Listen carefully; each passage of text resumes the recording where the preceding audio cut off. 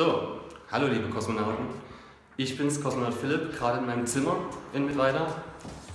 Alles ausgeräumt, ihr seht's ja. Komplett leer. Das war jetzt einer der letzten Schritte hier. Ist schon ein bisschen ein komisches Gefühl, muss ich sagen. Immerhin zwei Jahre hier gewesen und viele Leute kennengelernt.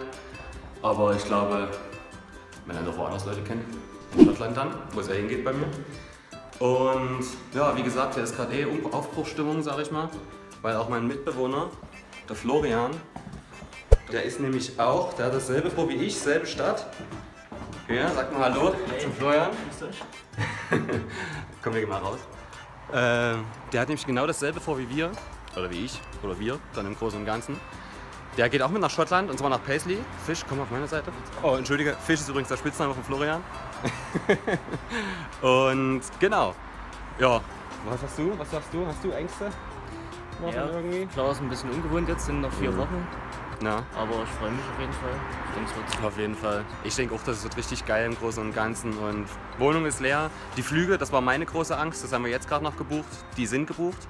Hat auch der Florian gemacht. So nett. Der ist so ein netter Typ. Und, und auf jeden Fall, ja, wir freuen uns wie Hulle.